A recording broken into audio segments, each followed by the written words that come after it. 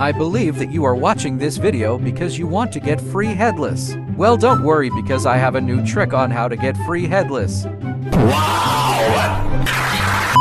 Hi guys, it's me Diego and welcome back to my channel. Before we start the video, make sure to like and subscribe, and also go comment your favorite limited items on Roblox. Go to Marketplace, then click Heads. Click Heads again, then search this up. Now get this dynamic head. This dynamic head costs 150 Robux, but don't worry because I am going to test this out for you guys. Equip it. And as you can see, if you join a game, you will still see that you have a head. To make it headless, you'll only need to lower your graphics quality. And there you go!